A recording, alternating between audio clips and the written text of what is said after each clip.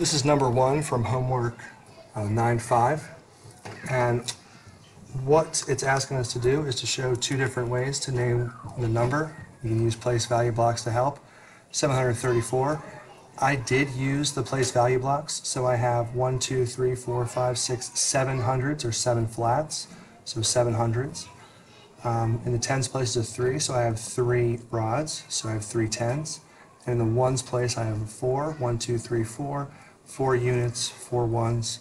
So I will have 700 plus 30 plus 4, which equals 734. But it's asking me for a second way. And what I did was, I took one of these flats and I exchanged it for 10 rods. So instead of seven hundreds, I have six. One, two, three, four, five, six.